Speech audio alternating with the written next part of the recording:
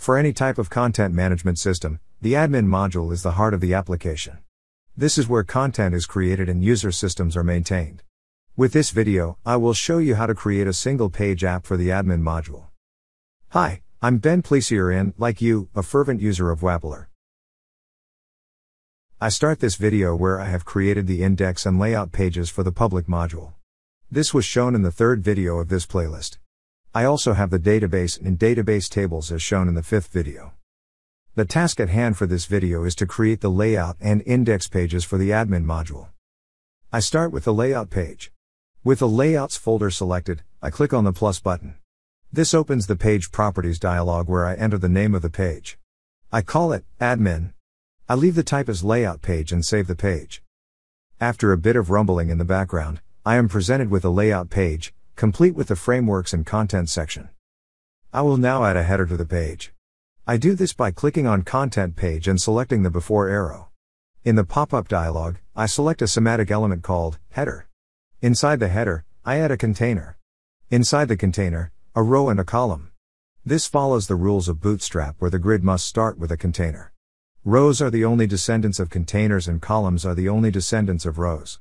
Content may only be placed inside columns. In case that you want more information about Bootstrap, I will leave a link below. Inside the column, I add a flex container. A flex container is not the same as a Bootstrap container. Inside the flex container, I add three flex items a button, a heading, and a second button.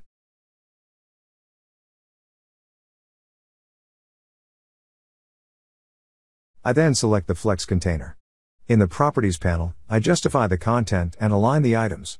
If you are a stranger to Flexbox, I will leave links below for more information. When I created the container, it defaulted to a fixed container. I want this changed to a fluid container. For this, I select the container and in the Properties panel I change it to fluid.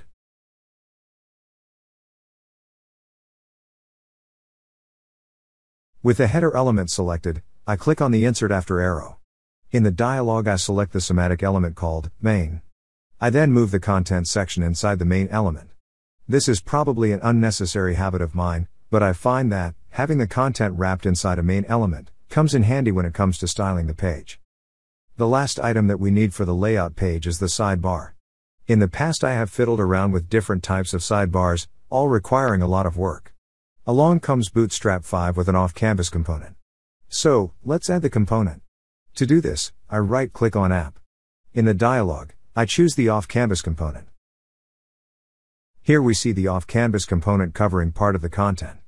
Even worse, the dark shaded area makes it impossible to work in the content page while the off canvas is visible. In the Properties panel, we see that the placement of the off canvas is start, meaning left side. We could choose to have the component placed at the end, meaning on the right side or at the bottom of the page. I will leave it at the start. Before we go any further, let's have a look at the style rules for the off-canvas component. We can learn a lot from the style rules especially when working with Bootstrap components. If you are not familiar with cascading style sheets, I will leave a couple of links below. Notice that the style rules are located in bootstrap.min.css. For off-canvas start, we see the placement starting at top left, width, border on the right and movement to the left when hiding the component. For off canvas we see that the component is in a fixed position. The default value for position, if not specified is, relative. The relative value places the element in the flow of the document, meaning that if I place two elements on a page, these will be placed one after the other. Using position fixed, takes the element outside of the flow of the document. This is the reason why the off-canvas component covers part of the content. Carrying on, we see that the off-canvas component is a flex container and, initially, it is hidden. This means that we need to create a button to show the off-canvas component when required. I go back to App Structure. Here I select Header and select the first button. I double-click the button to highlight and delete the button text. Then I click on the flag. In the pop-up, I choose the Align Left icon. I scroll down in the Properties panel and remove the button padding.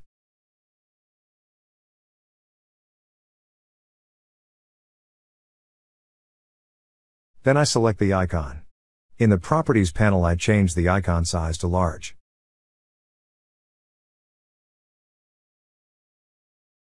Back to the button, this needs an on-click event to show the off canvas. In the Properties panel, scroll down to Dynamic Events. Here I add the on-mouse event. For the action, I select to show the off-canvas component.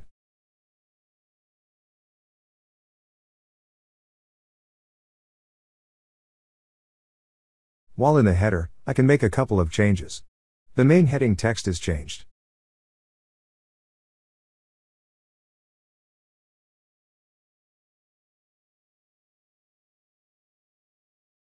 I also changed the size of the heading by adding a class of H4. Yes, I hear you. Why did I not change the heading type to heading 4? An HTML document has an outline which is very much dependent of the heading structure.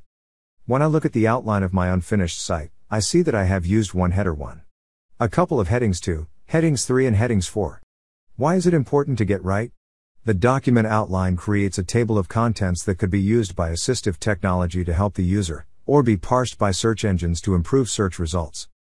To recap, each HTML document must have one, and only one, heading 1 element. Lastly, I changed the wording of the second button. Hard to see, but it says, log out. Let's see what I have created so far. I switched to live mode and hit the icon on the left of the page. As expected, this shows the off-canvas component. When I switch to mobile view, all works well. Maybe the width of the off canvas could be reduced. When I switch to laptop view, I see that I could easily have a fixed sidebar rather than an off canvas component. So, let's have a look at the tablet view. This is a toss up. I think it best if the off canvas component stays here. To recap. For all screen sizes I want, a narrower off canvas component. For large screen sizes I want, a fixed sidebar that starts below the header.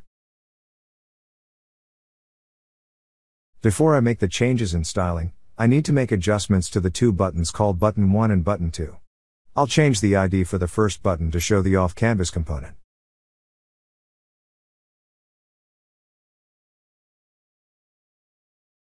I change the ID of the second button to log out. I am now ready to make the changes in styling. For this I need to open the style sheet. I open the Files tab. In the Site Root folder, Called public, I select the CSS folder where I find the style sheet called style.css. Double clicking the file opens it in the canvas. I will paste the style rules rather than entering them by typing them out. This to make it less boring for you. Don't worry, I will leave the code below so that you can do the same. The first line is called root. This is where we specify variables and their values. In our case, I have called the first variable off canvas width with a value of 250 pixels. The second variable is called header height with a value of 40 pixels. The remaining lines set the width of the off canvas and the height of the header, both by using the respective variables. Let's check to see the result. Turn on live mode and show the off canvas component. Yes. The width has changed and the header height has been set to 40 pixels.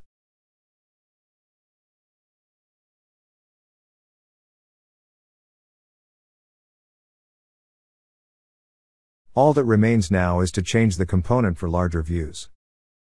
I go back to the style sheet. I again paste the code into the document. This time the styling only affects viewport widths of 992 pixels and greater. Remember how the off-canvas covered part of the content area? I compensate for this by applying a left margin for the main element equal to the width of the off-canvas. For the off-canvas selector, I remove the motion, make it visible and move the top of the component to below the header. Further down, I remove the backdrop, remove the close button and the show button. These are not needed for a fixed sidebar. Save the style sheet if you had not already done so, and close it. Let's test our creation once again. I turn live view on and refresh the page. Now we see what I had intended.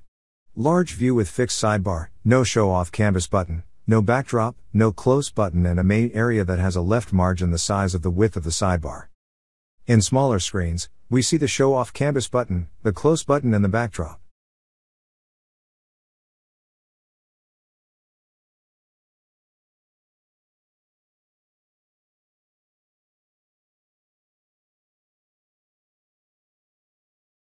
The next task is to add navigation to the sidebar. First I remove the current content from the sidebar.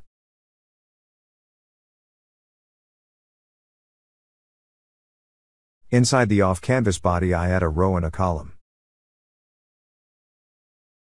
Inside the column I place a navigation bar from under the Blocks tab. The navigation that I choose is called Brand Menu. There are a number of items included in the navigation bar that are not required for our navigation. I remove Navbar brand and Navbar toggler. Then I move Navbar nav to under Navbar. I do not need the Navbar collapse, so I delete this as well. To rearrange the alignment of the navigation items, I select Navbar Nav. In the Properties panel, I select Vertical Align. For this project I need 5 navigation items. To add the extra items I duplicate the last item a couple of times. Lastly, I change the text for each of the navigation items. This is done by selecting the navigation item and changing the text in the Properties panel.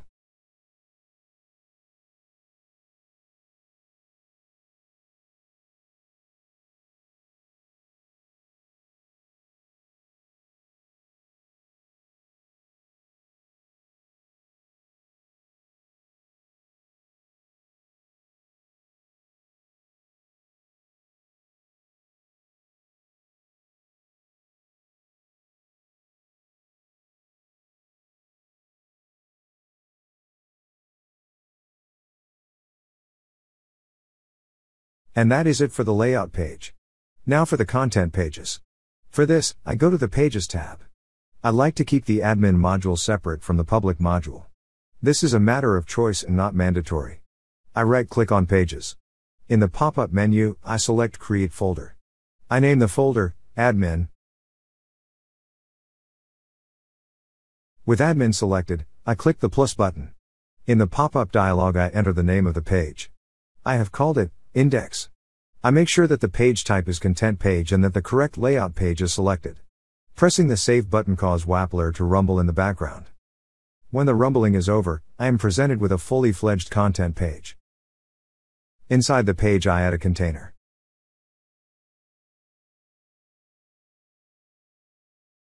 I change the container from a fixed container to a fluid container. Inside the container I add a row and a column. Inside the column, I add a heading with the title of the page. Wappler defaults to an H1 when adding a heading. But we already have an H1 tag in the layout page. In keeping with the rules of document outlines, I need to change this to an H2. I will now speed the video up while I create the other pages. They follow the same procedure.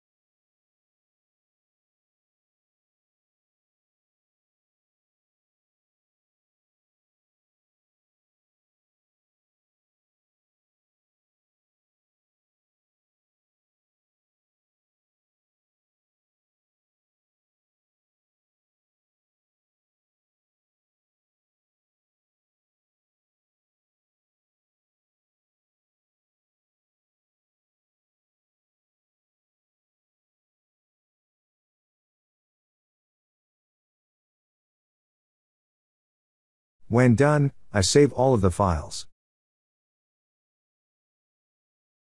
Now that I have created the content pages, the navigation items need to be linked to these pages.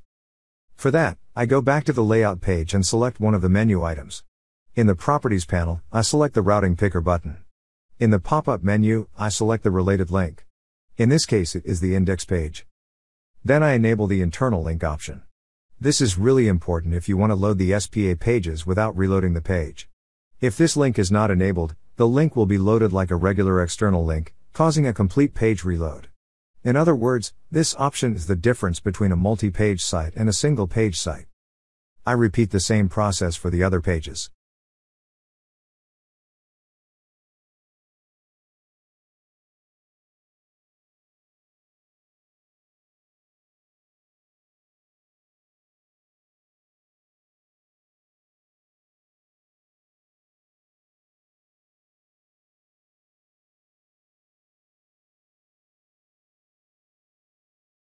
When done, I select the index page and open it in the browser.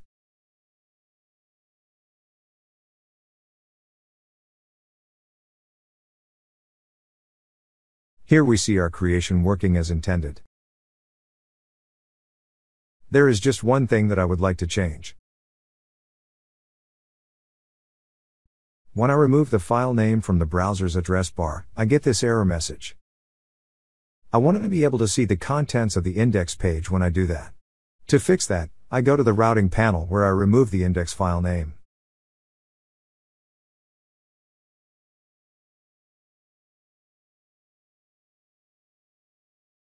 Then I select the layout page and in the App Connect panel, I do a refresh. And remove index from the link.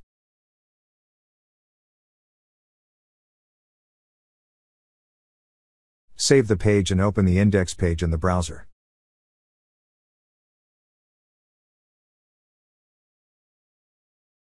The problem here is that the index page is still loaded into the browser while there is no routing for the page. In a real life situation, this will not happen. If I open the admin module just by entering the admin folder name, all is well. The index page is loaded. We should make one last adjustment. At the moment, the browser shows an untitled page. To be pedantic, I should rectify this. I go to the layout page and in the properties panel I change the title.